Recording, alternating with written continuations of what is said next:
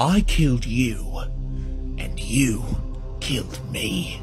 Charlotte, why'd you kill that guy? Motherfucker, he killed himself!